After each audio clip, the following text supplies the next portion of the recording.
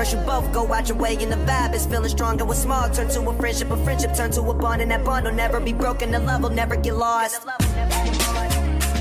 And when brotherhood come first, then the line will never be crossed. Established it on our own when that line had to be drawn. And that line is what we reach, so remember me when I'm gone.